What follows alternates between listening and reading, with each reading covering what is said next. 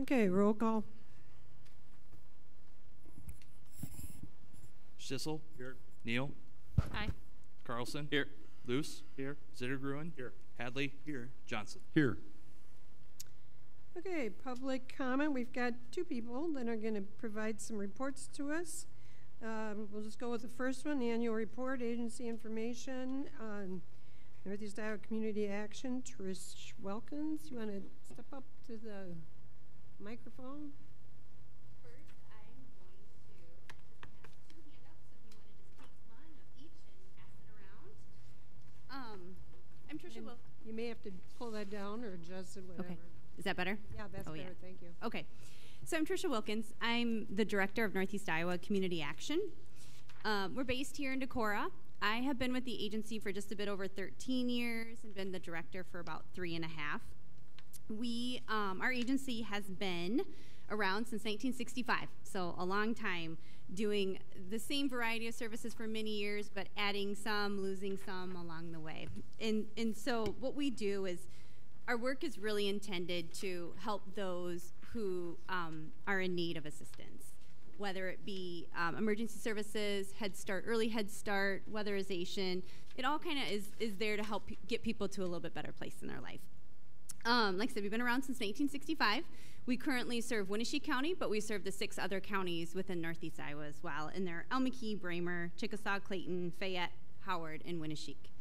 I usually have to do them alphabetically so I don't end up forgetting one. Um, in programs that we have, you can kind of see from your handout, early Head Start programs, we've got 15 Head Start classrooms located within our seven county area. And we do, in, in Head Start, if you're familiar with that, that's a preschool program, um, no cost to low income families. In addition, we have early Head Start, which helps individuals, um, pregnant moms, and then infants zero to three. So it's sort of that that jump from going starting with our early Head Start to hopefully a smooth transition into the Head Start program. Um, stable and affordable housing. You're all probably pretty familiar with our housing programs. We've got lots going on here in Decorah. Uh, Willem Mills, Washington Court, and Ridgewood Duplex are all owned by us. And then we've also got uh, apartments in Calmar as well. So um, some of them are going to be, they're all going to be low income. Some are more focused towards disabled. Others are elderly housing, which is our Washington Court. So um, we also have um, the low income home energy assistance. When you take a look at the data that I provided, those are the big numbers that you're going to see. The most households served, the most dollars served, because we serve about a little bit over 3,500 every year in households in our seven county service area.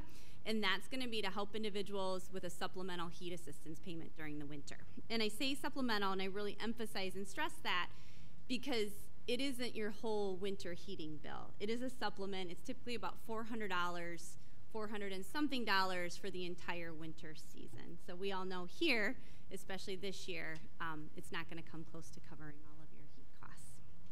Um, and then we we also um, have the weatherization program, and one of the things that that we really saw an increase in was our emergency assistance program. This is crisis, and so things happen. And so oftentimes we have people coming through our doors who may have a utility disconnect notice, or they might have an eviction notice, or they might be in really big trouble um, with their mortgage payments and owning their home. And so we've had the ability, especially in COVID times, to be able to provide some portion of assistance to hopefully help them get back connected or prevent that disconnect or keep them in their homes um, with other resources too.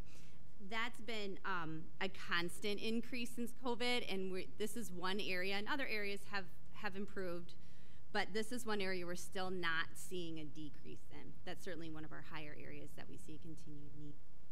And so, resources that we receive from our cities and counties and our donors and our federal resources have been really helpful in order for us to be able to keep continuing offering that service and programs. So, um, the two handouts that I have, this is um, just our story. So it's just a really quick synopsis of who we are, what we do, who we cover. Um, and then I also, the annual report of it is I try to provide sort of a, a, year in review backwards of what we've done. And this is actually going to be um, just a residence for the city of Decorah. So you can see exactly numbers, demographics of those we've served in your area. So programs are going to be listed out so you can see when we talk about the LIHEAP program, that we had 175 households served just within the city of Decorah for a total of assistance of about $65,000 or $6,420. I'm not going to go through all of them, but our crisis assistance, there was over $10,000 paid, 58 households served within Decorah, and that again is a utility, rent, or other emergency type of service. Um, we are also contracted um, with the county, and you can see the Winneshiek County General Relief. There was one household served, and um, that's because we are able to um, utilize so many of our other services to help those individuals with county relief that you rarely see um, the county budgets used um, for general relief. And so that's why it works. We have four counties that contract with us, and we've saved them tens of thousands of dollars because we're lucky enough to have other federal funds to oftentimes serve those individuals that general relief would maybe have had to do in the past. Um, this one was for a thousand because the one thing none of our programs or services cover are funeral, and that's usually what we're finding is a burial or a funeral for that. And so I'm sure that that's what that was. Um, we also provide the Community Adolescent and Pregnancy Prevention Program. We call it the CAP program, and we're going into um, schools all throughout our seven counties and providing um, scientifically based reproductive health information to our students age sixth grade up to 12th grade. So um, another another piece that we provide. If you see the buses, you all know we are also the transit Region 1 provider, so you can see that in, for just Decorah residents, we provided over 15,000 rides um, for just those living in. Um, you can see the information, the COVID-specific programs, and those were additional funds. Um, 12 households served for CSBG, which is Community Services Block Grant. Head Start, we had 15 families. We've got one classroom here in Decorah. And that pretty much, weatherization, we were able to do one home with about $12,000 benefit to that homeowner. And that pretty much kind of, you know, gives you a pretty good idea. And so in total, um, with our programs and services, we were able to assist with over 100,000, 111,000 for just our residents of Decorah. So, anybody have any questions? So the the males and females on the far, Yeah. the top left there. Yep. Those in, those are the that's the breakdown of the people within the households. Exactly, the demographics. The So you- demographic breakdown. Yep, you see the males and the females, and then we break it down. It's just interesting data to see who we're serving, and so it's age groups, races, and then work status. We also, um, you know, we really want to emphasize sometimes the work status to sort of get away of sometimes the stereotypes that go along with people who need assistance. And so you can see that 49 households or 49 individuals were actually employed full time that still number one, qualified for our services and still needed our services. And then on the other side of it, um, we had 57 retired individuals um, who often still qualify for our services as well. Any other questions, comments? Do you have any areas of surprising growth? Uh, increase, increase in need. Do you mean? Um, I don't know if I can say we've had surprising growth, but um, Fayette County is has just been an area that we've seen a, a high, high need, especially in the Oelwein area. So if you were to take a look at the city of Oelwein and then Fayette County in general, um, you're going to see lots and lots of resources there. So that's definitely always been a high need for us. Decorah, Winneshiek County is probably one of our lower. Allamakee is a little bit higher. Clayton County is a little bit higher. Um, so actually, Winneshiek and Decorah area are probably one of our lower. Okay, any other further, further questions? Yeah, Thank you very much for the work you do. Thank you guys. Thank you for appreciate coming. We'll look forward to seeing you again soon. Yeah, it'll come soon. Thank you. Okay. Thank you. Uh, Annual report for Chamber of Commerce, Jessica Rilling.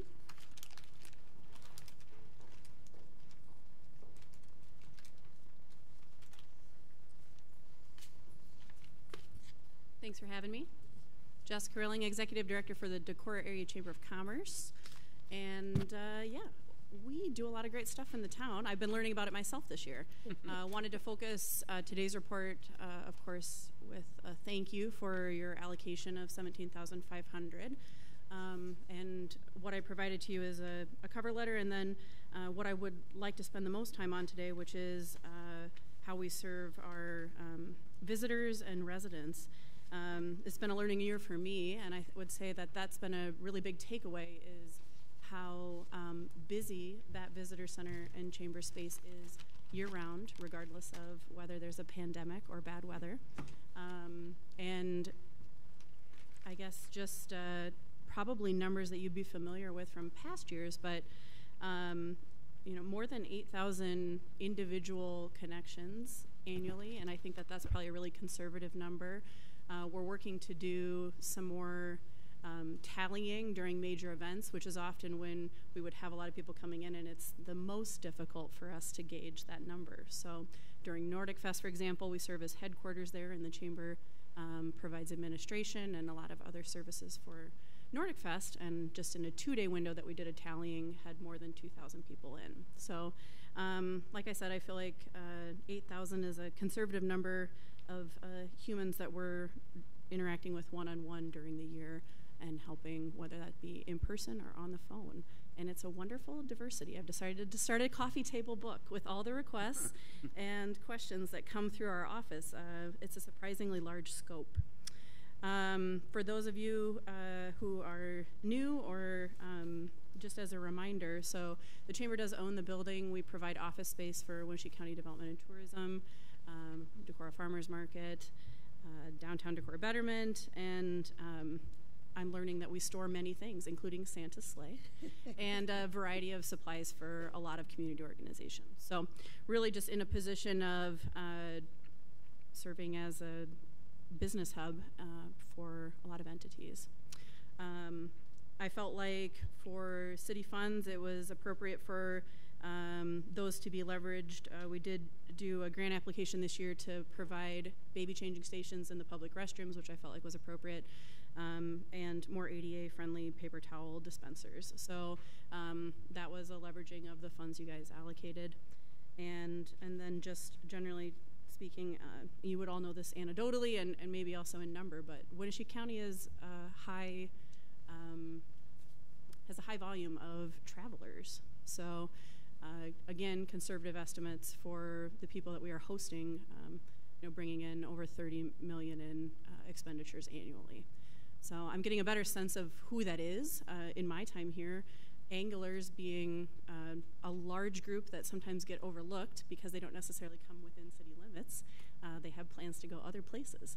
Um, but this county is really, and the community, in a unique position to serve a lot of um, Iowa residents and travelers. So um, that's really what I wanted to focus on. Of course, the Chamber also serves our 300 plus members. Uh, in the last year, we've issued 80,000 in revolving loans to small business and um, do a lot of collaboration and leadership when it comes to community events and revitalization. But um, yeah, just really wanted to sing a song about tourism today. I feel like we're uh, it's really it's really fun and it's also at like a surprisingly high volume. So, any questions about any of those things? Um, only about um, the hours that are you're open now, I'm assuming you're back open like what you had been working before. Have you been able to get your VAL volunteers back also? I was really excited about that actually uh, in planning a volunteer open house kind of headed into the fall, uh, just kind of ahead of the uptick of COVID. So we are looking at a, an open house for volunteers just ahead of uh, holiday hours. I think that they'll be able to provide a pretty good resource and obviously like a responsible um, low cost one.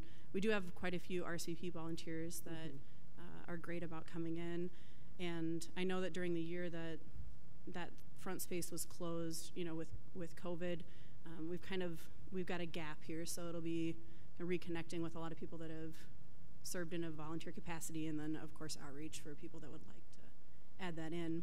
Um, but uh, yeah, very just a very busy space. Right, right now I would say uh, so that the chamber's two full-time staff are kind of manning that reception area, um, and and what are your hours? Things. We have the lobby open nine to four, um, which has been okay. Um, that's certainly one of the things we look at uh, when it comes to being able to provide a good service for the community and then that balance of providing uh, service for our many business members. And, so. and, is that on the weekends as well? Right now, we're as as volunteers are available okay. for weekend hours. Mm-hmm. Any other questions, comments? Just curious if you've Yeah. noticed any trends demographically. Like, where are people coming from? Are most of them from just Iowa, Minnesota, Wisconsin, kind of the general tri-state area? Are you noticing people coming from other places that you're surprise you, or do you notice any trends or anything? Yeah, I mean, it's a pretty across the country. I, I Sure. can say that comfortably. And, and many international guests, maybe more than you would expect. Because of Vesterheim, Laura Ingalls Wilder, there's some things that pull people from a really far distance. Um, you know, we can track based on the visitor book, but um, also just with communication. And then over the last year, they did uh, some nice research over which areas we're most likely to draw visitors from. So we know that the Madison area, the Twin Cities, and Des Moines, within kind of that drivable area, would be our some of our biggest pulls for people that are outside of Northeast Iowa. Um, but we, we do see people from, from every state and many countries. Sure. Um, and so if you want to come just sit next to me sometime, it's just compliments all day long. With the rare exception of people who are upset that the eagle did not get a fish while they were at the fish hatchery. So we're working on training the eagles better, but I, I don't have any progress on that to report. So yeah, anyway, are, thanks are we for having are we me. advertising then in those high density places that we're seeing travelers from, or not, or is it just kind of word of mouth that we're Uh, relying on now? Yes. So hotel motel funding would have provided an avenue for some of that. Sure. um, outside of some of the larger campaign that happened like over the last year and a half, it would be more at like a very like targeted discretion of say like for the holidays coming up, if retailers, you know, pool funds and say, hey, we really want to try to draw from, you know, a certain area, then we would specifically target it. But um, yeah, I think that that's been a good dialogue and a good thing for me to learn too Sure. you know how much to advertise to ourselves and how much to work to pull people from farther away. It's more expensive if they're farther away. Sure. So Do you have, Yeah. when I first came on council, right, the rebranding of Yeah. With the driftless, do you have any, any like report or fact sheet on like how that has changed? Is, it, is there, an, are you seeing more tourism? Is it, what's the impact, I guess, of that rebranding? sure. Well, I would say wildly positive. You guys would have probably been on long enough to see the old website. So I did get to see that for a little bit, and it was in um, very desperate need of being uh, redone. So um, I think, you know, a year out from that launching, we'll have better analytics for it. But the nice thing about the company that did that and the way that they set up the the new setup was really a lot easier for collaboration and for streamlining things. So, for example, we're able to take um, like Decorah Now information, events that are flagged as being tourism, um, can pull in automatically into the visitor calendar. Things like that that the the past website was not able to do. Um, so most of the, I guess like analytics that have come in to date were more about the outreach campaigns to the metros and not as much about the analytic change for the website. Um, I don't know that there were analytics to compare them to, um, which is important, of course. But uh, I do like that the new one has a much heavier presence of photography. I think that, I mean, information and anecdotally, everyone enjoys that more. So that's been very good. Um, and now that that's kind of done, the point we're at now is looking at how to maintain and keep a high quality of content there. I don't know if that answers your question. No, no, it does. kind And of in the then, middle. um, because I have you here and I, you're on my list to call. Um, the chamber had once, I think, in conjunction with Winneshiek County Conservation, or not County Conservation, Winneshiek County Development, talked about an app, right? Some kind of, and I know you're using Deets, but is there any talk of anything beyond Deets on that end? Not yet. Um, it'd be a good conversation to have. One of the reasons we brought Dietz in as kind of a, a little pilot was because the analytics for Facebook now are so poor um, as far as, say, a small retail shop downtown posts something and they maybe think that all of their followers are seeing it. It's actually an incredibly low percentage, sometimes 5% of their followers seeing it. So we're in an interesting place where finally you have a large body of restaurants and retailers and just individuals feeling comfortable with a social media platform right at about the time that it's becoming not the greatest one to use anymore. So um, Instagram will be maybe the easiest for like a shift there. Uh, Dietz has been successful in kind of, I would say, as far as a pilot goes. Um, I love that it's introduced loyal to local customers in Cedar Rapids and um, Des Moines to us. Since we were the first one, every community that gets added gets connected to us, which is nice about being first. Um, the downside of being first is that it's the newest thing. So creating a habit um, of using that is a lot more difficult. So we've had the most success with it, uh, I would say, for specific events, and that's something that they offered where we were able to do, um, like for Nordic Fest, at no additional charge, just as part of our relationship with them. They did, uh, you know, provide kind of that app service for, you know, thousands of people that already had the app. Okay. Um, so I, we don't have a separate one identified at this time. Okay. Any other questions, comments? So you've been here for you know a while now. Um, where do you see the chamber going? Because this is pretty tourism heavy, It is. um, and you're Yeah. at, you know you pencil out at like two dollars a transaction, which is great, right? Um, I, I don't What else can we do? No. Well, what do you what do you see your Yeah. where do you see the chamber going in the next year? Yeah, it's a good question. A big question. Um, so I worked with a lot of small communities at Decorah size and bigger and smaller. And so a lot of my time here in the first year is figuring out who does what, because that changes over every community. Uh, in this community, the chamber is in a really strong position to do things. Um, you know, we do administration for Nordic Fest, Betterment. Um, we're working with economic development with the city. Uh, you know, it'll be the 100th year in 2024. So, a lot of things that can be hard when you're establishing something, um, a betterment group or something. Uh, we have that advantage of having a long tradition of work. Um, I think two things. First is that I'm realizing that with the current structure, um, a large amount of our time is going towards tourism, uh, which is great. Uh, but if you're doing all of that, then there are some other things you're not doing. So that's definitely been an observation this year for me um, with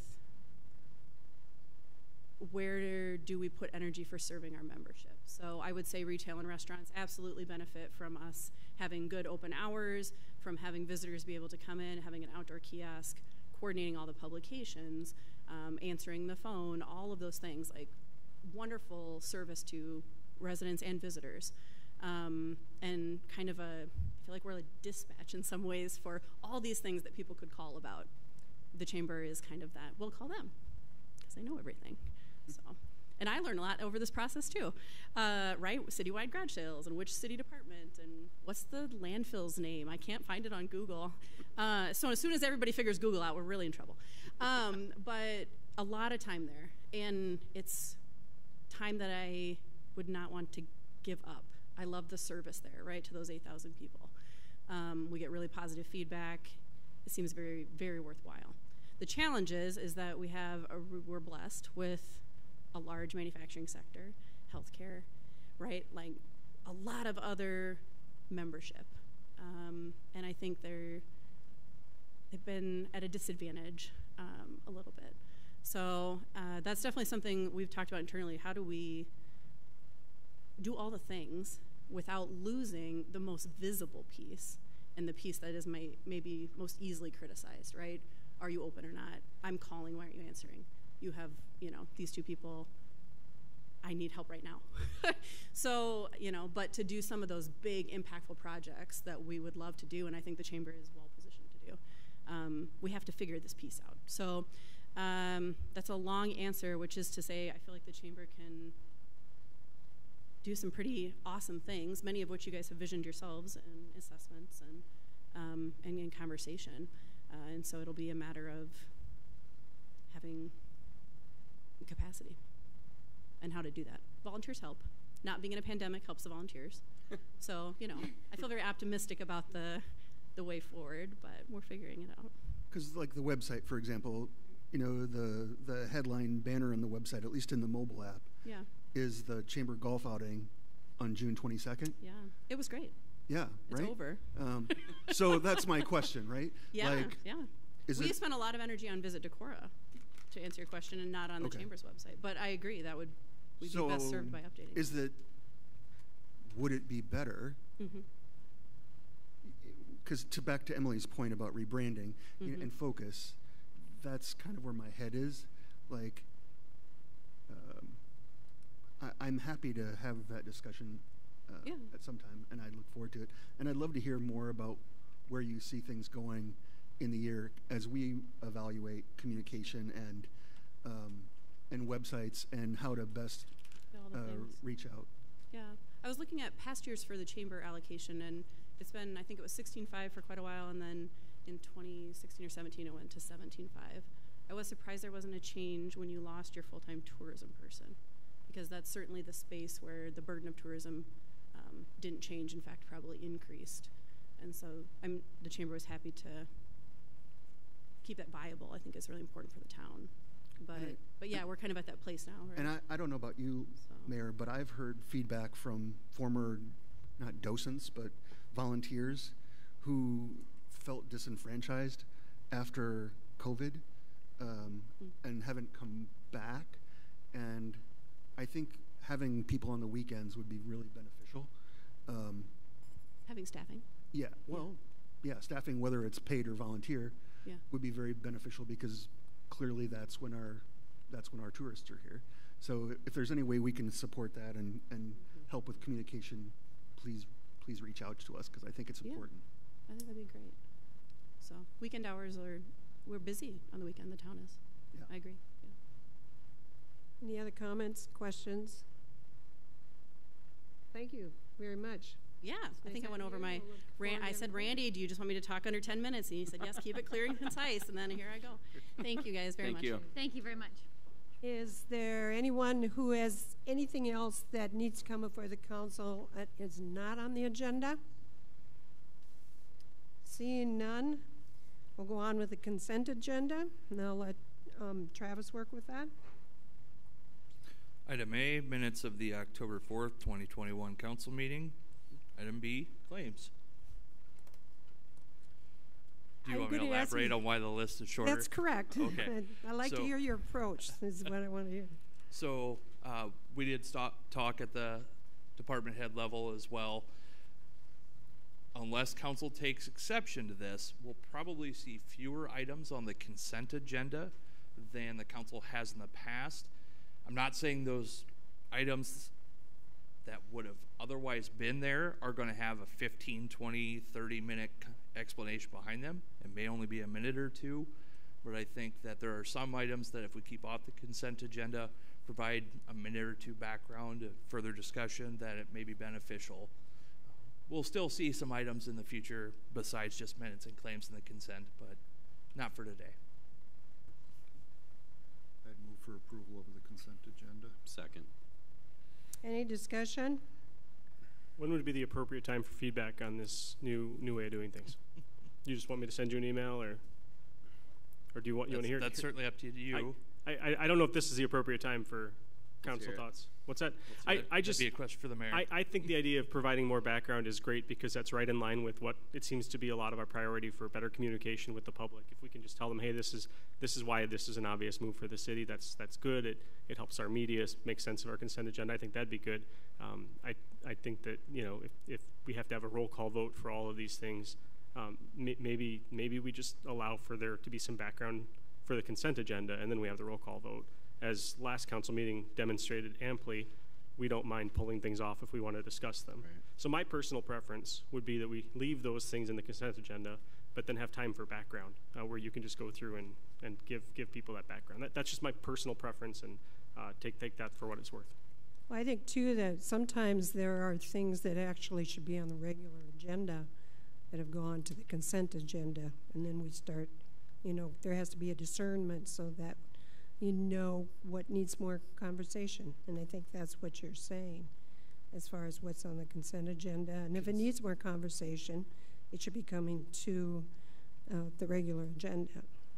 Correct. Like, for example, we we have had a lot of conversation around a consent agenda, which by definition should simply be read and then voted on That's the whole premise behind consent is these are all items that are so routine that involve no conversation whatsoever. One motion and they're all approved. So in the in the future, like I said, this list will be a little longer in the future, but we're probably going to see fewer items than in, in the past. Okay. Well, I think, you know, as we go along too, we can uh, see how that translates into the amount of discussion that council feels is appropriate. I can definitely see what you're saying as well. Could you just cite a few examples, Travis, of things that you've seen on the consent agenda that you thought maybe shouldn't have been, like liquor licenses, or like I'm just curious as to what you think maybe needs more discussion that you've. No, those are liquor licenses, which we didn't have a renewal for any this month, Sure. so those will typically appear on there. Uh, items, for example, some of the resolutions that I've seen placed in the consent agenda that, uh, well, prime example is anything this council has pulled off of the consent agenda in recent history. So if you believe that it's going to result in conversation, it shouldn't be placed on there. Sure. Okay, okay so we've had a motion and second and discussion. Roll call. Schissel. Aye. Neal. Aye. Carlson. Aye. Luce. Aye. Zittergruen. Aye. Hadley. Aye. Johnson. Aye. Issuance of requests for proposals, RFP for Community Catalyst Grant Application. And I'll let you work with that. Yes, so included at the dais for all the council members, I got a few extra copies here for anyone that might be interested as well. The Community Catalyst Grant is a program offered through IEDA that first and foremost does require the city be the applicant. So that's why we're having this conversation here. Uh, myself, as well as some others from the economic development portion of the community, were asked to look at a building with a proposed project. They emphasized these two grants that they wanted to seek. Again, requires the city to be the applicant. I'm very familiar, familiar with Community Catalyst. I've applied for this twice when I was in Humboldt. Uh, I don't want this to sound like I'm discouraging by issuance of the RFP by any means, but one of the components of Community Catalyst, I'm emphasizing that, is you have to make the argument that this project is going to serve as a catalyst for economic activity within the rest of the downtown area. In my twice prior in applying in Humboldt, I was told Humboldt's downtown was too vibrant. Vi- Humboldt has a fairly vibrant downtown, not a vacant storefront, all on Sumner Avenue. However, I'd be remiss if saying if it was more vibrant than Decorah. So it is, and the individual that I spoke with about their project is well aware this is an uphill battle.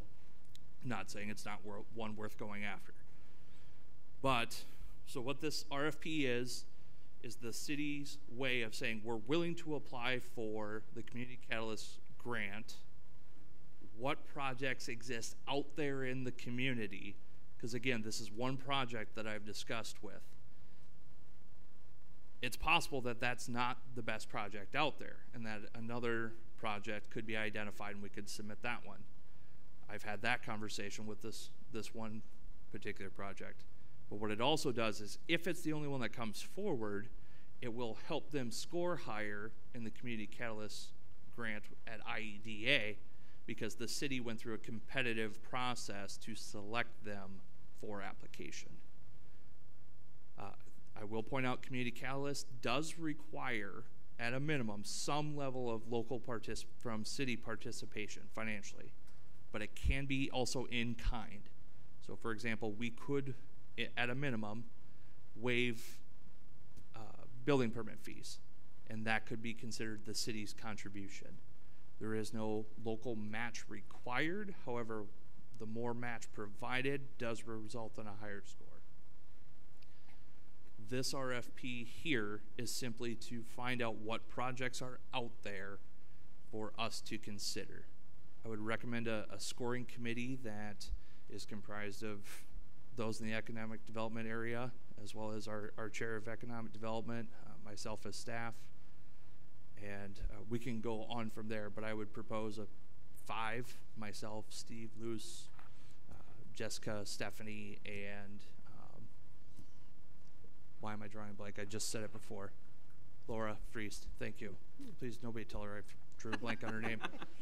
She- how much of city resources, I mean, so here, you- what I'm hearing Yeah, I know. Don't tell me. is a grant that seems like a long shot and a lot of city resources. So one of the components of this is Lora actually had a conversation. Lora was part of that conversation with this project. She is actually willing to assist with the project that's awarded. And I say assist with, they're not going to solely write the grant on their own, but it's actually, I'm going to hit submit if ultimately the city does select a project and apply. Because again, this RFP does also stipulate that the council can say, you know what, none of these projects are worth our time in theory. Uh, the RFP does say that.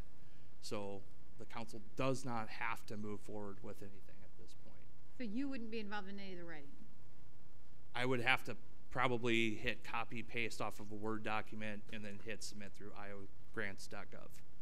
And if, how many ti- is this, um, this one is available, how many times? Is it like once a year? Once a year? Once a year. Okay, This has been a, been a pretty successful program through IEDA. Uh, Okay. not successful for Decorah's or, or Humboldt's, but uh, again, it's a they allocate a million dollars on an annual basis. However, they have consistently awarded more than a million dollars in grants. I believe last year was 1.8 million in grants that they offered. This does seem to be uh, Debi Durham at the state level. Uh, it seems to be one of her key programs that she really seems to enjoy awarding projects for. And the, the in-kind match from the city can't be time, your time. Probably not. Well, I think it's an, an opportunity for projects out there that want to at least try to get some funding for what they're doing. And the city can assist econ- for economic development to be able to uh, work with them in that fashion. Mhm. And this, this program, Community Catalyst, does have a pre-application and then an application. So it is possible that the pre-application gets filled out, they see City of and score it. I believe it's, it's like five points really is all required on the pre-app, but we might only get four. So it's possible that any applicant with any project would be at a disadvantage where we wouldn't even get past the pre-application stage. And so how do, how do potential people that want to use this, how do they find out about it? So, of the handouts that should be at everyone's seat at the dais, I do have a cover letter that's drafted that I would give to the Chamber of Commerce, Winneshiek County Economic Okay. Development, uh, even local banks, or if there are businesses that even call, we'd send this information off. But there is a those each packet associated with the two different programs. I mean, I think it's, it's an awesome service we could provide, right? I hope that there are other grants that we could do this with that might be more successful. And I would hate to see too much of your time when you're just trying to get onboarded, uh, into this only because of where you are in, in starting. But I really like the idea of the city help, helping businesses and catalyzing. It seems, seems like a perfect opportunity, so I guess if you think you, I mean, if you feel like it's worth it and you have time for hitting submit and whatever else, you probably aren't. You know how we all say we don't, it doesn't take much time, but it does. Mm-hmm. Like if you're feeling that that would work. I think it would be a good tool to help us assess what interests or what needs different partners of the community That's are, true, yeah. have out there. And so I would move that we indeed offer. That's a good thought. I like that. I would second it. So we have a motion um, to offer this to the public, and a second. Uh, Motion made by Luce, seconded by Neal. Any further discussion? I'll just say, if the, you know, if the opportunity is out there, you can't win if you don't play. Yeah. Right, right, and you never know who's gonna. Maybe Right. there's not a lot of applicants this year. And the other nice thing would be if you do apply this year, at least you have basically the template to, to apply later next year, right? So. Yeah, so- and we gather data that are parties that are interested, like Steve said, you know, that if it's not this grant, maybe it's another program that we can work with. And it starts to build an inventory of interested people who in downtown or or opportunities that we can Right. that we can work with together with with uh, you know the economic development scoring team. So yeah, I think I'm I'd be supportive. I think it's cool that there was an individual that really is interested, at least trying to work with what they have downtown and be able to improve on it, and was willing to even bring it before us, so. Okay, Travis, do you know if this would be limited to the C3?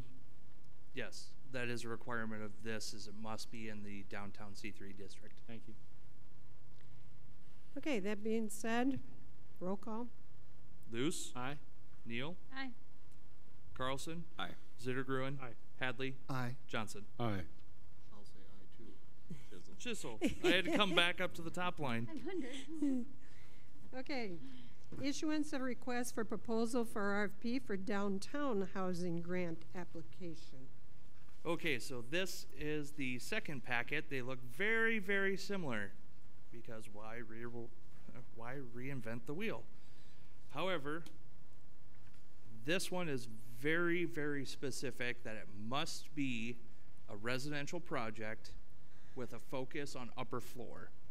A rear main level is eligible, but as indicated by IEDA, who again this program is through, would not score nearly as well as an upper floor residential. Again, the same project that I spoke to and talked about um, indicated that they wanted to apply for Community Catalyst, identified this program as well. This is a first time. I'm going to stop short of say one and done because this is uh, ARPA funding, the American Recovery Funds. It's $20 million $20 million that's going towards this program. A project can be eligible up to $600,000 depending on the number of residential units they would create. If they create 10, uh, more than 10, it's 600,000, less than it's 300,000. This one I believe has a much greater chance of being selected than Catalyst. And so this one knowing council support for the first one, I would strongly encourage that we approve this RFP as well. Again, it's an RFP process. There is no um, obligation on the city's part, and I'll take it one step further. There is actually a local match of 25% required, but that's not required to come from the city. That can be private investment. Can, i- is this directed at workforce housing or it can be any type of housing? It cannot be Airbnb if that's what you're curious Well, about. I was curious, I was actually curious about Airbnb or a, you know, It, it actually. super, uber awesome, I don't know. So there are amenities that must be provided as part of the, the project. Okay. Uh, at a minimum, or for example, on-site laundry. It doesn't necessarily have to be in the unit. It could be on-site as part of an overall, but it, there are certain amenities that are required. It can't be basically just a uh, studio apartment with basic amenities. That's Right, I guess what I'm saying is, you know, can they charge a rent of, you know, two thousand dollars? Yes. And do we have any say when we offer the RFP that we would give priority to the ones that we would work with that would actually look at workforce housing? So there is a scoring matrix that I did provide as part of that RFP. Uh, There could be any change. These are all draft, of course, until council approves them and awards them. So on page three of the downtown housing does have the scoring matrix. If you want to adjust any of those or make sure that anticipated rent as part of it, we could certainly put that in as part of the scoring matrix. I would like to add that scoring in. Um, doesn't mean that we wouldn't fund a project otherwise, but I guess in my mind, we need workforce housing. Um, and so I guess I would like to see that we at least put it within our scoring matrix for projects that we decide that we are gonna move forward with. And say that again, what you'd like included. Um, I don't know how we would word it. I would be open to wording, but I would, I would rather us, if, if we've got projects of equal merit, I would rather us focus on a project that's gonna provide workforce housing as opposed to one that's gonna provide luxury housing. I've got it. Maybe Workforce, word I say. workforce housing. Workforce Okay, housing got as it. opposed to luxury housing. Okay. I would probably suggest placing it within project impact. That subsection, that's a zero to fifteen points on fifty points total scoring matrix. So if we were to insert, uh, you know, some way of wording cost of rent to be charged at the end product, Right. that's probably the best place. Okay, I would move our s- approval of this submittal uh, with that addition on the impact aspect of the scoring matrix.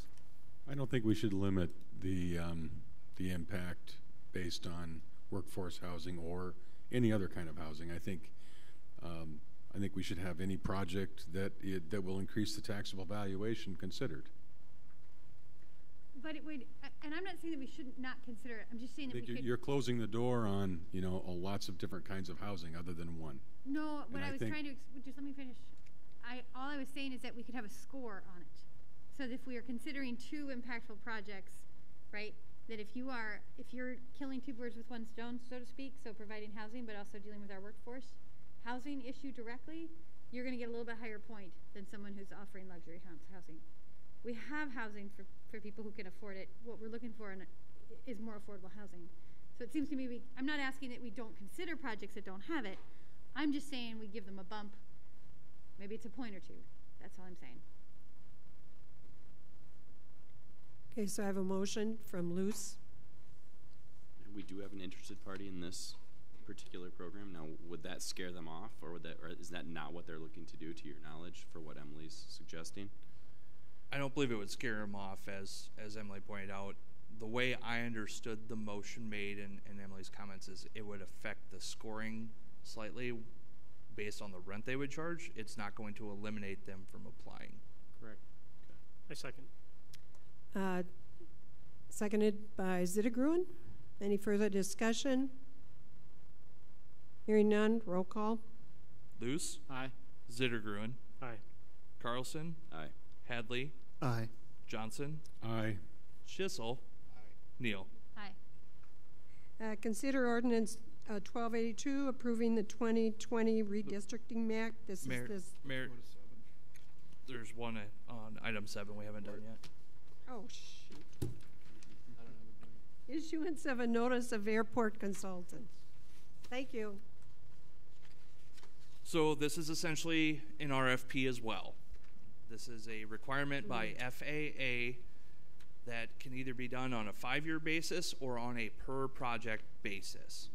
This notice to airport consultants puts it out that Decorah Municipal Airport is looking for potential projects in the future of which we're going to need an engineer we have to go through this competitive process to be able to get FAA reimbursement, and that's that's huge because that's 90% for most projects. So we have to go through this process either every 5 years or on a per project basis. This does not obligate the city of Decorah to any of these specific projects in the notice. This is simply put in there as part of the CIP that was already approved that this is anticipated these projects are going to happen within five years. Yes, they are associated with five years as part of the CIP, but this does not obligate us by any means to do a project or do it in that time frame. I would move the council give an issuance of request for proposals, or for airport consultants, sorry. My, I wondered. Second. Motion made by Luce, second by Carlson. Any discussion? Hearing none, roll call. Luce, Aye. Carlson, Aye. Zittergruen, Aye. Hadley, Aye. Johnson, Aye. Schissel, Aye. Neal. Aye. Okay, now consider ordinance 1282 approving the 2020 redistricting map. This is the second reading. I move for approval. Second. Moved by Johnson, second by Carlson. Any discussion? Heard anything from anybody on it? Nothing written, nothing verbally to myself.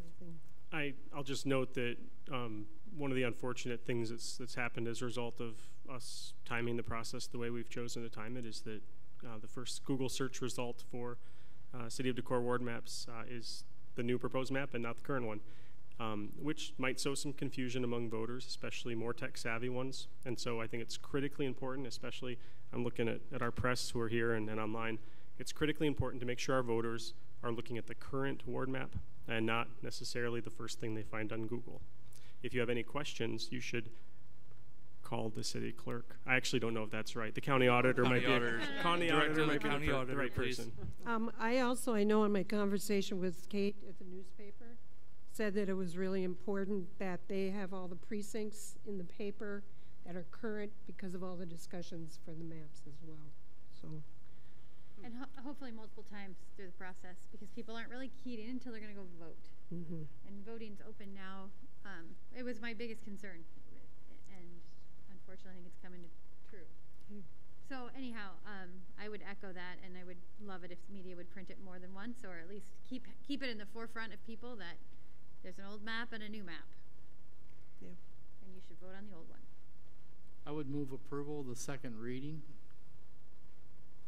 Yeah, but yeah. We already We have, have a a, we have a motion. so- motion and second. Yep. Um, any further discussion? Roll call? Johnson, Aye. Carlson, Aye. Zittergruen, Aye. Hadley, Aye. Schissel, No. Neal, Aye. Luce. Aye. Okay, consider ordinance twelve eighty-one, proposing city code changes to chapters ten and twelve seasonal parking restrictions, snow emergencies, and snow removal policies. This is the first reading. I believe, I'll have you give some background on that. I think we talked about this. Yes, so this considered a first reading again because of the conversation that happened at the last council meeting. Uh, there were some proposed changes that were more than just verbiage, they were actually content, so um, I, I apologize, I'm gonna have Jeremy take a lot of this as well because I wasn't able to be present at the last meeting, but uh, I believe all of those comments have been taken into consideration. Ordinance drafted by John uh, with working with Jeremy on this. Yeah, so the, uh, there were three main differences from the ordinance proposed at the last meeting. The first one, um, is that the time frame for the alternate side parking would start November first and go through April first. The second is that we changed the effective time, uh, so two AM to five PM instead of eight PM. Reasoning for that was, um, hopes to make it a little more convenient for folks coming home from work to just have to park in anticipation of the next day as opposed to having to go back out later in the evening. And lastly, um, added some language prohibiting residents from depositing snow on an adjacent property or the right of way in front of an adjacent property without permission from that property owner. Okay, I have a question for clarity. Um, when I look at, uh, ten fifty-two two ninety A, um, it talks about no one shall park or leave standing any vehicle on the street in any day between hours of two and five, and then it has an exception. As hereinafter provided, can you explain, and Travis did, but I want this explained in public, uh, one and two, as when I look at that, it means, sort of goes back to that old even odd parking? Yeah, so in, in simple terms, what this is saying is that between the hours of two AM and five PM, alternate side parking is in effect. From five PM to two AM, it is not. Uh, So, go a little further into it. The I know what your question is, Mayor. It says in A, item A, it's not allowed. And then the subsection is except, and then it talks about the alternative side parking, odd days, odd side, even days, even side. So we have to have, and, and John, correct me if my explanation isn't what you agree with, but we have to have that language in there that the street parking is prohibited to be able to issue uh, tickets, fines, or tow in the event that it is so extreme. And then the exception is what uh, we have to focus on for compliance, if you will. But we have to have the language in there that it is prohibited during that time frame to be able to issue those tickets instead of imposing that these times are not okay and explaining it within greater detail we say it's just not allowed except when it is. So during the day, that it is not affected during the day, it's during the hours of between two and five. Correct, between the hours of 2 a.m. and 5, Okay, you are required, you have to fit within the exception. So odd days, odd side, even days, even side. It is worth noting, we've had the discussion at the department head level that our emphasis, especially this first year, is going to be education. Uh, that that will always be the case. We will emphasize education. There are going to be. I'm not going to say we're not going to enforce this ordinance because there may be situations, whether it's an extreme snowfall or education has failed. Um, so, there. I'm not saying we're not going to enforce this at all, by any means, but we will emphasize education first. We're Well, talking like the ordinance is already passed, but just give me a couple of minutes here. um, so the um, the the time between five o'clock and two a.m. or Correct. for that time period, are we going to run into an issue where there are cars on both sides of the street in any area? Like it'll still be that for streets that only have one side of street parking. Like how do we handle the the streets that only have one side of street parking, so that a car could still get through if it was snowing we weren't plowing and there are two cars on the side of the street. You know what I'm saying? What the scenario is?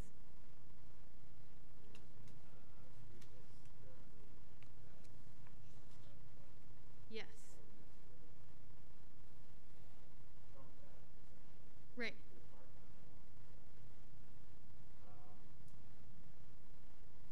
So I'm just curious, so you know what I'm saying? So if you have a street that really only can allow for one car, it's not a wide street. So these are our narrow streets.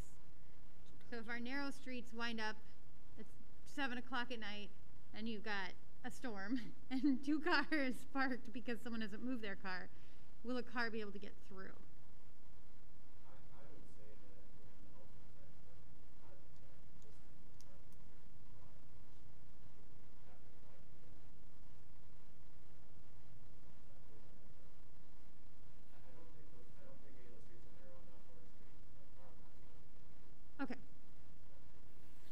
Two cars may not be able to pass at that one spot.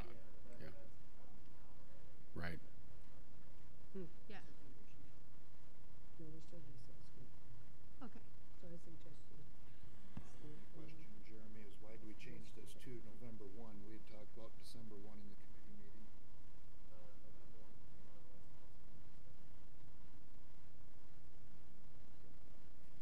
I thought we moved it to December one, so for overflow parking on the street over the holidays, Thanksgiving especially. Yeah, that happened in the committee discussion, and then in the pre- the council meeting that happened after it. I think Emily was pushing for a November first date. Well, only because the uh, the chance of a storm in November was pretty big, and if you had overflow parking and Thanksgiving and a storm, wouldn't you want it moved? So just for a point of clarity, though, in the, I was going to say, just for a point of clarity, though, when you were having the commission or the committee meeting, it was December 1, right? But at Okay. the council meeting, haven't, we yeah. haven't talked about it at council level yet. Yeah, we did last time. Last meeting. Okay.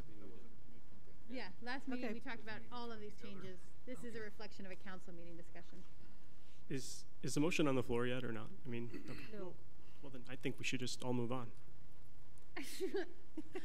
I'll make a motion to. Now I got to read it. um, I make a motion to pass the ordinance two. Uh, I'm not good at this. One, two. 1281, proposing city code changes to chapters 10 and 12, seasonal parking restrictions, snow emergencies, and snow removal policies. I'll second. Motion made by Neal, seconded by Luce. Discussion. I have something to say.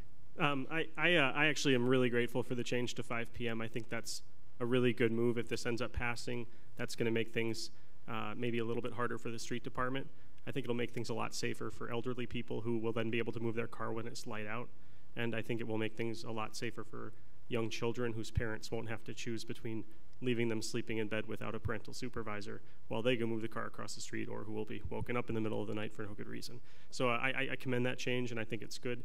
I still don't support this ordinance. I think it casts too wide of a net yet. Uh, I don't think it's responsive to the facts of our local climate, uh, and I have a couple safety concerns. So I'm going to go through it quickly because I mean this is all the uh, the this is a this is a, a, meeting that could have been an email, except Iowa state code makes this illegal to email about. Uh, so I'm going to have to talk to you here. Um, the first the first reason I think this casts too wide of a net is that uh, we don't have that many snow days. We have um, many winter snow days, but compared to many places where there's just effectively no parking, we have a fairly mild winter, a, a, winter that's increasingly mild given uh, climate change. Um, and I, I, think we, we should take that seriously. So I, I looked up days of snowfall in Decorah, um, and there's something like 30 to 35, depending on who you ask. And we're talking about restricting now 30 to 35 days in which there's any snowfall, uh, measured snowfall. That's more than a tenth of an inch, I think, more than a trace. Um, and I, I, I, you know, I think that maybe we're casting too wide a net to uh, change people's parking uh, rules and laws, change the way we use our streets uh, for an event that only happens one out of every five days uh, during the winter, and that uh, on those days when it does happen, oftentimes it's not severe snow that requires rolling the plows. So I'm, I'm actually curious, and this isn't a question yet, Jeremy, but you certainly, I'd love to hear your thoughts after this. Um, I'm curious how often we roll the plows and in what months, um, because the second reason I think that this casts too wide a net is that I think that starting November 1 uh, and ending at the end of April uh, doesn't reflect what I've been able to find out with my very amateurish research on the weather uh, which is that the great majority of snow days in, in winter in Decorah happen after December 1 and are done by the end of March. And so I think we should consider rolling this back to be uh, less expansive and, and representing a, a narrower uh, time frame. So um, I'm going to. So the, the average just the average November has 2.3 days where it snows at least a tenth of an inch. The average uh, April has one day. Um, so you're talking about 3.3 days there total. Um, the next closest is is uh, is like seven days, where there's a tenth of an inch. So I think that um, I think that maybe November and April should be removed from this. Uh, that would make it more palatable for me, I think, and better for the citizens of Decorah. Um, and I want to talk about the safety concerns very briefly. Obviously, there are safety concerns on the part of the street department, on you know, and and and on, on behalf of people who will benefit from having streets that are better cleared because of this proposed ordinance. Um, but uh, when we effectively increase the width of our streets, which this ordinance does during the daytime, uh, in the winter, we're signaling to drivers to go faster. That's how drivers respond to wider streets. Uh, and, and we are effectively widening our roadway when we do this. Um, and I'm concerned that, that when drivers are going faster, especially in the winter, when their stopping distances are shorter, uh, we create hazardous conditions for people who are using our roadways and streets as pedestrians. Um, and so that's, that's one safety concern. And uh, the other safety concern is still that even, even if they can do it at 5 o'clock, not everyone can do it at 5 o'clock, but even those who can, we all know that it gets dark really early here. And so asking a lot of the people in Decorah, especially a lot of the vulnerable people who don't have off-street parking, that's a disproportionately represented group in those who park off-street or are people who are, who are vulnerable, um, I think having them cross the street in the in the dark four nights out of five when there's no snow on the ground is uh, is casting too wide of a net. So, you know, never never criticize without proposing a fix. Here's my proposal. I think we go back to the drawing board and consider how we can do a better job of communicating to people when we're declaring a snow emergency, so that the 30 times a year that we do it, we say everyone park on the outside of the streets, and then the next night we send everyone a Decorah text, everyone park on the even side of the streets. The technological hurdles are pretty high for doing something like that, uh, but it's one that our school system's already cleared. Every parent in Decorah gets a phone message um, whenever there's a school closure, and I think that we should consider looking into that sort of a system and making this responsive to local weather and not something that we just do every night, whether or not there's snow on the ground. And I'm going to circle back to say the one last thing that I forgot to say because I was skipping around on my notes, which is that even when it does snow in November and in April, those are milder months, and the vast majority of the time, it's not a you know perduring snowfall. It's not going to be ice on the side of the road for for a week because those are milder months, and usually the, the, the snow and ice will melt. So, thank you so much. Sorry about taking so long. So what? I, I want to respond to the time frame that's come up twice. I, you're, it ends April 1st, right? So we usually do get quite a few storms in March, just from my own tracking as a teacher and how many snow days we have. But hold on. Sorry, I'm I sorry. I was wrong about that then. Thank you. Okay, I mean, I do think that the notion of November, even if we didn't get any snow in November, we want to train people before the snow comes, right? So there's a there's an advantage of starting in November. It gives us this training time of people moving their cars. Um, I think I hear you in terms of it, it's not perfect, but what we have right now isn't working, right? And I, I think we need to fix it. And I do think that this is a good stab at a fix. Um, and so I think we should try it and hear these things. Some of your concerns to me are greater concerns. Like if we have people in the winter using our streets as uh, walkways, I think that's a greater concern that this policy shouldn't be looking at, but we should be looking at why are people walking in our streets in the winter and fixing that problem, regardless of there are two cars or one. So I hear that, and I, I think we should look at that, but I don't think that this is, it's going to be made worse by the policy. It's already a problem, right? Um, I do think other communities in Iowa do this. It's not that we pulled this out of a hat and said like, But let's do Decorah is is different. better.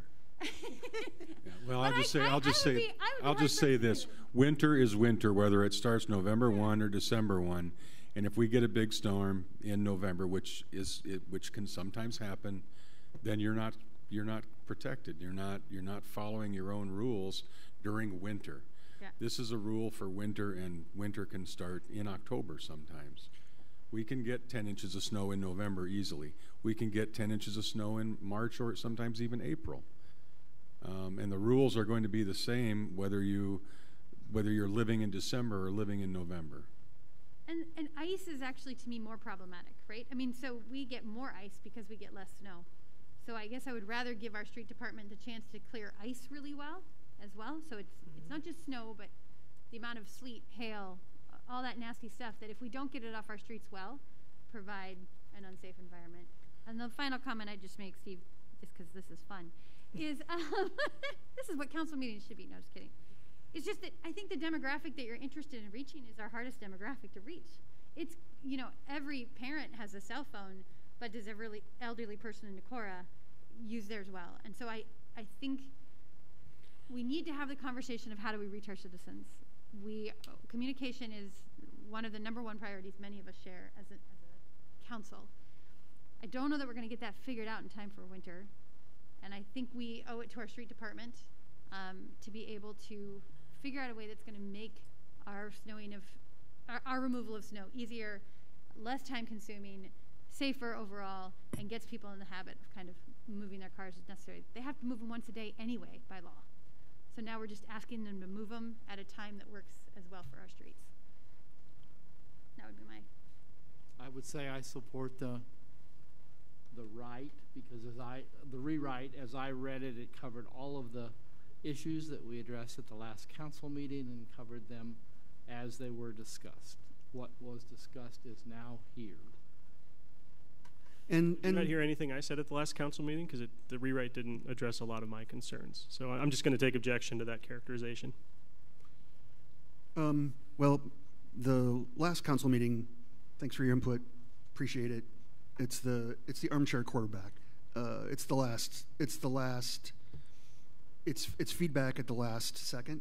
Um, we did have we did do this in Randy six Kirk, six street committee meetings, four street committee meetings that we've done this. Um, we've had staff, staff, and PD uh, feedback over multiple times, and and we have um, and, and we've amended it to reflect the last council meeting, um, not necessarily all of yours, but other people's input. So I, I take objection to the thought that it's not uh, that it's somehow out of right field. Um, but I do hear you about communication, and that's not written in here. Uh, it's not an ordinance. Um, it's a goal. It's a goal for us, and I I think we all need to accept that goal uh, as a challenge uh, to to to do a better job of communication. And then tying it back, if you didn't feel involved in the process, I know you I know you're always invited to the committee meetings. Um, so you're welcome. I've to, been to every streets committee meeting since I was elected as a council person. Okay. I think. Well, then it's clear that and and every time I've we have a disagreement. well, and that's and that's good, and that's why. I, but but this is the best forum for me to give voice to this agreement to a wide group of people. Sure. And and this is just my job as a council person. Uh, even though yeah, it's it's fully baked and it's obviously looking like a done deal. Um, but I've been critiquing the process along the way, and I want to be consistent.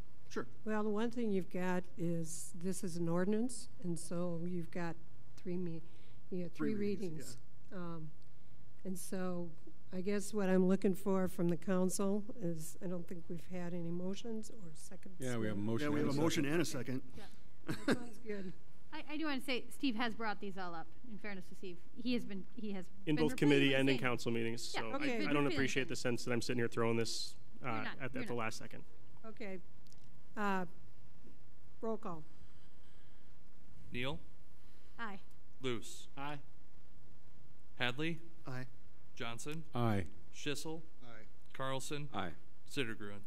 No. Okay. So the first reading passes. Uh, city manager, department head, and council reports.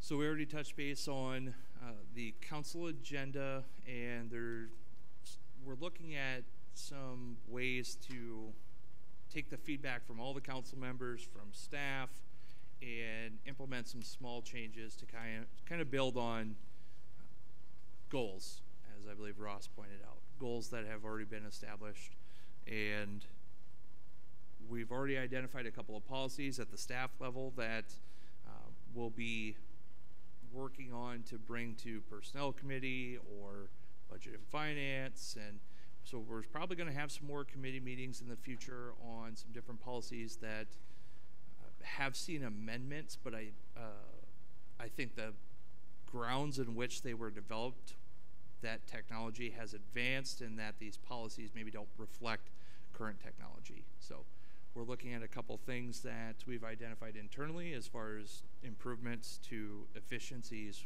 within our own operation. Can these be brought at a work session, or they have to be brought into committee meetings? I mean, we have work sessions every month. Yes. Seems like these things. Mm-hmm. So it can go straight to workshop.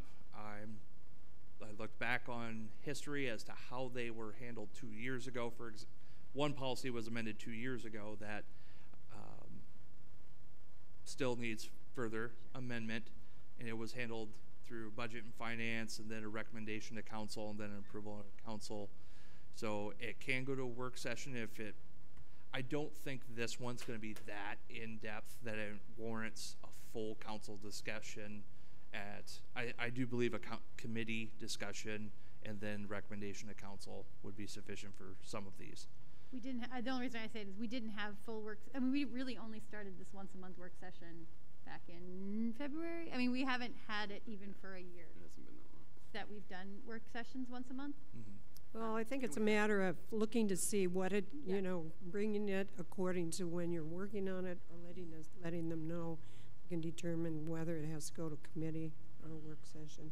And, and I'll, and full disclosure, we're not talking anything earth shattering at this point.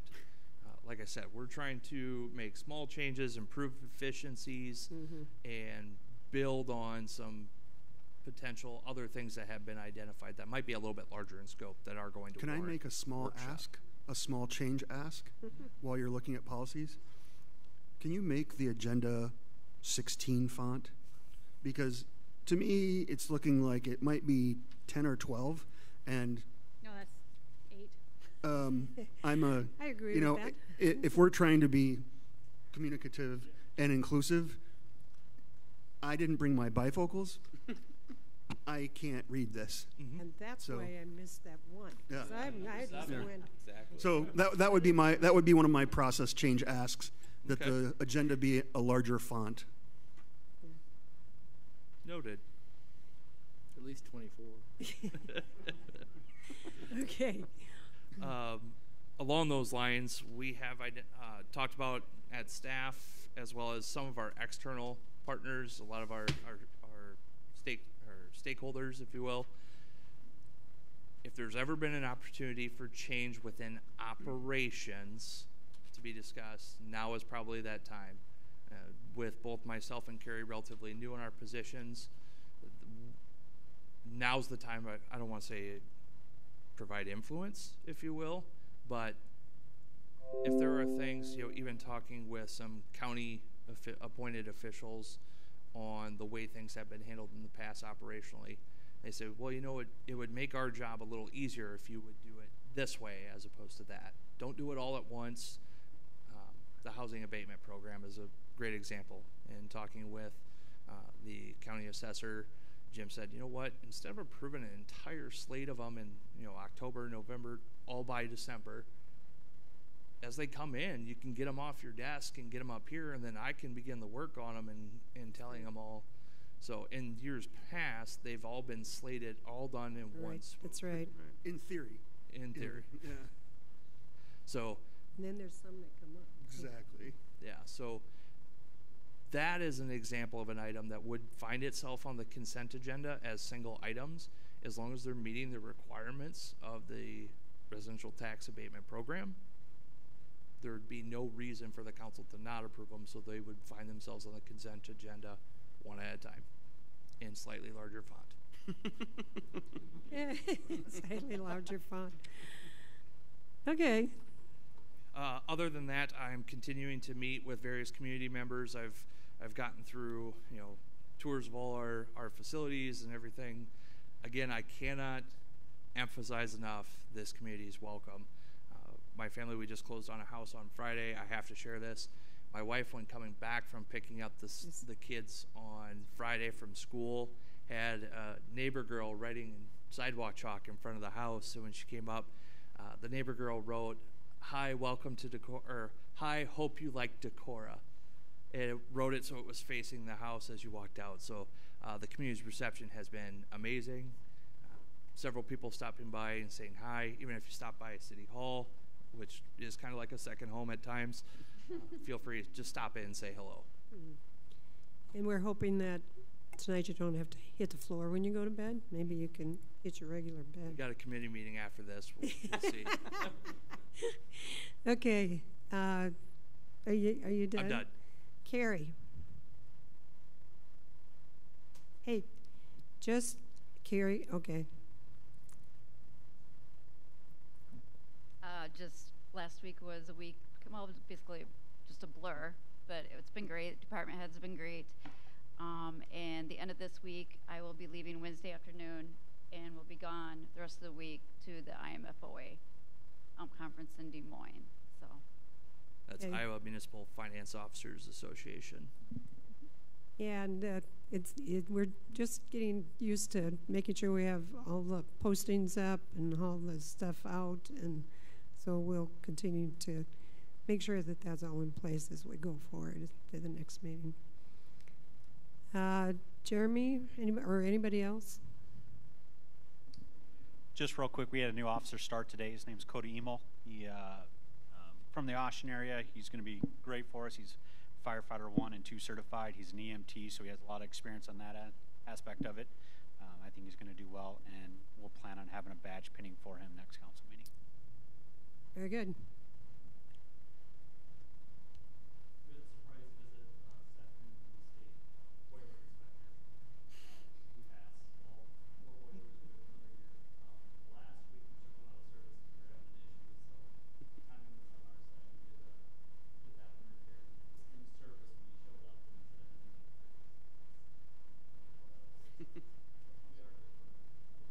thank you. Fantastic. Anything else from the departments? Hearing none. Randy? Have nothing this evening, Mayor. Emily?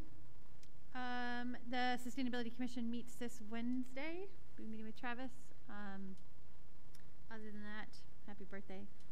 And I think I'm good tonight. We will be, um, we will have an opening on the Sustainability Commission since Yep, we will. one of the members is choosing to be a lifelong learner and go back to school for a while. So, uh, Andy? We have a utility meeting after this. If anyone wants to join the Steves and Randy and myself. Okay, Oh, that's right. I'm not on. Steve? Um, Andy, can you share anything about deer hunting in Decorah? Are we, Oh, doing anything in the parks this year, or?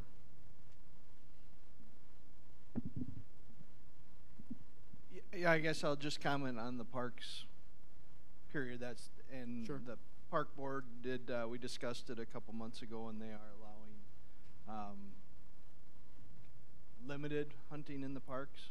So by limited, and that's, they need to work So an archer would come to the Parks Department and figure out how to sign up for the process and take. You're okay.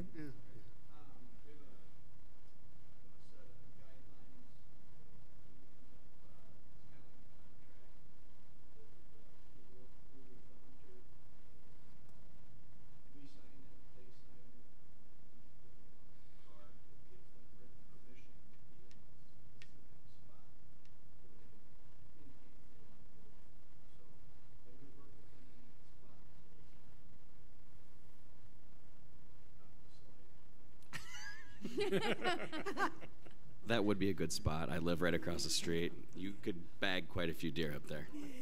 Maybe we should put one there.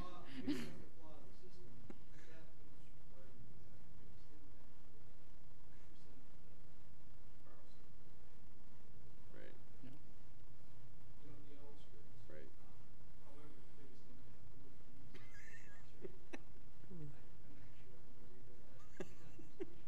What if we closed our parks for So a the weekend? Only Decorah- hunters.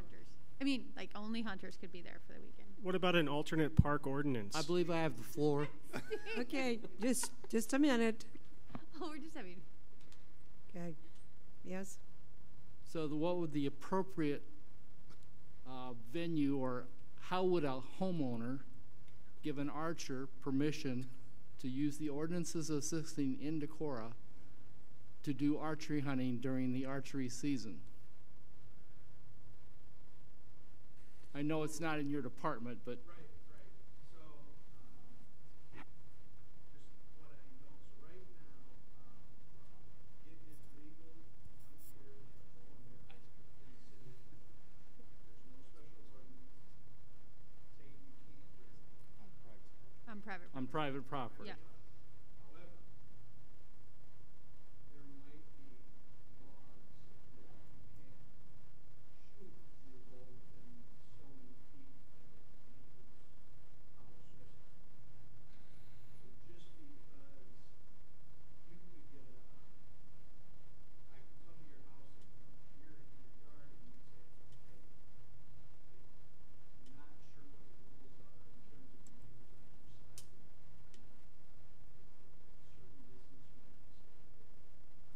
there city, is, is there city uh, definitions as far as that's concerned?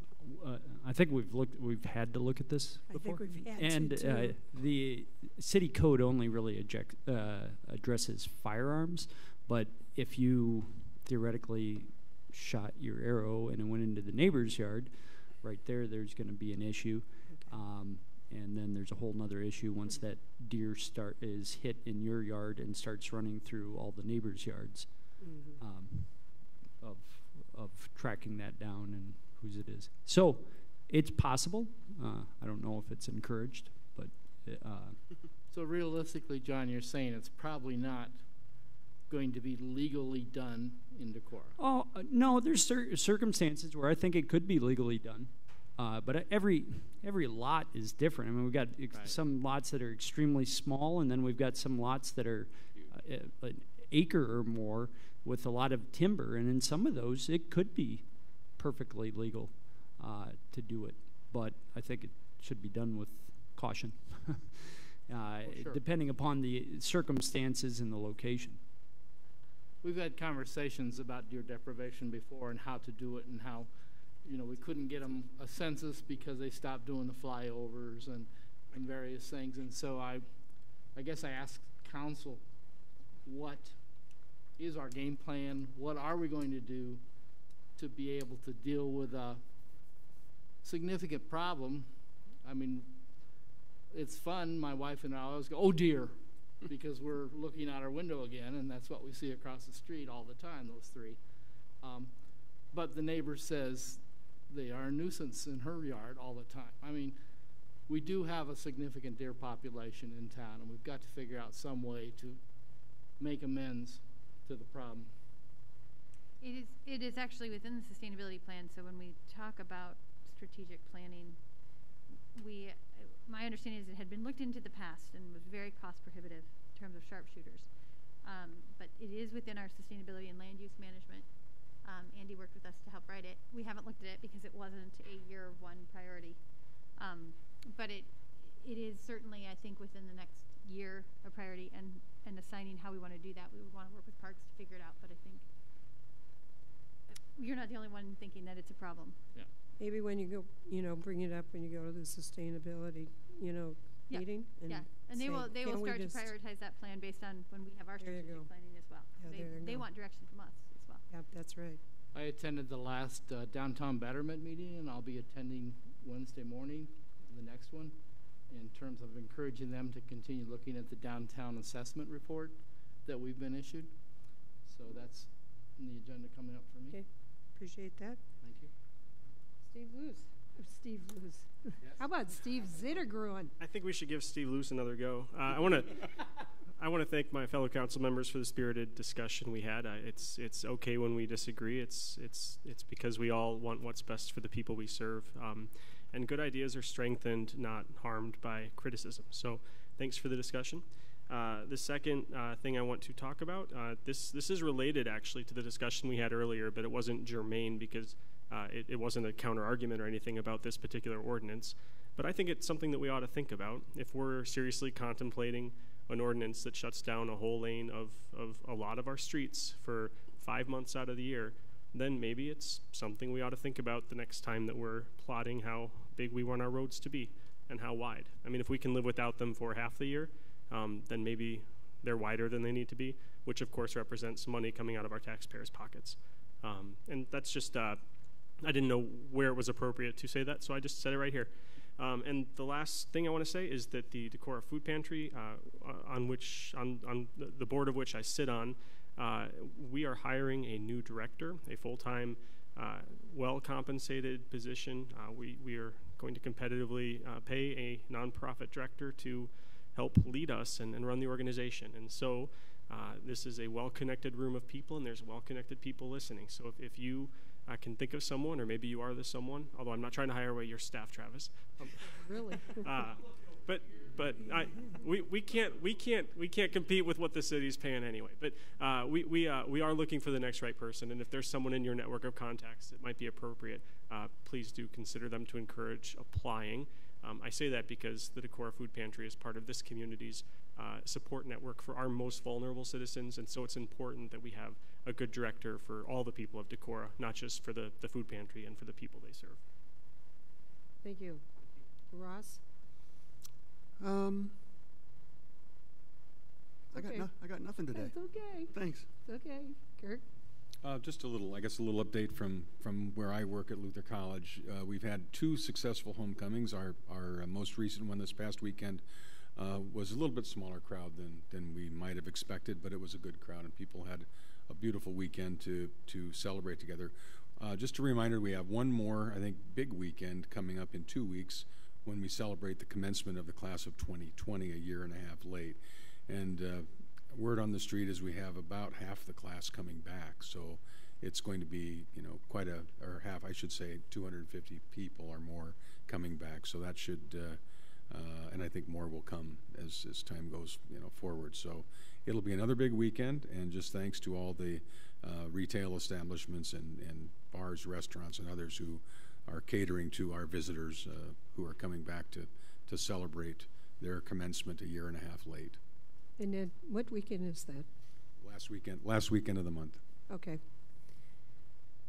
Okay, uh, let's see, I, I went to the airport commission meeting, I love going out there, those guys are, it's mostly Greek for me, but it's a lot of fun to see what they're doing, and every time I go, I, I appreciate the airport that we have, because the uh, viability that's, uh, and uh, the usage that it's getting.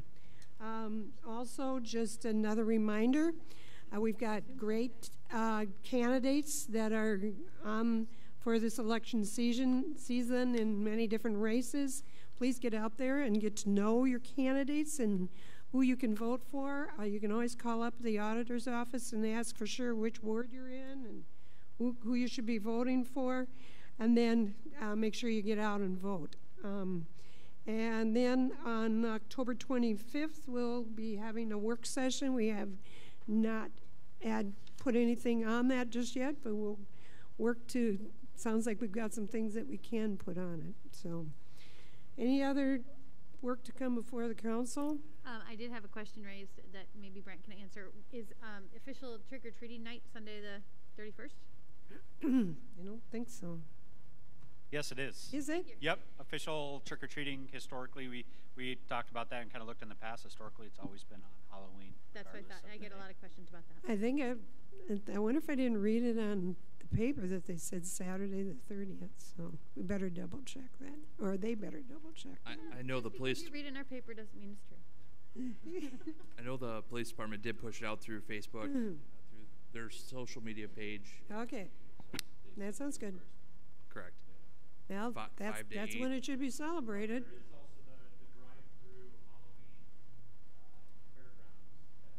Okay. Now, hopefully that's what they're working with.